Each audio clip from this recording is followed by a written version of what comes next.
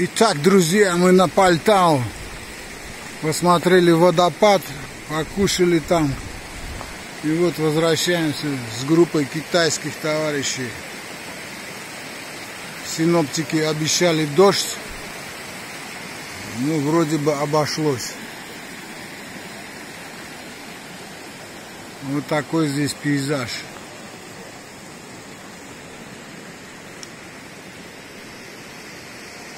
Скалы, в которых находятся пещеры доисторических людей.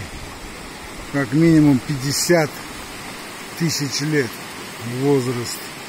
Найдены скелеты неандертальцев и кроманьонцев.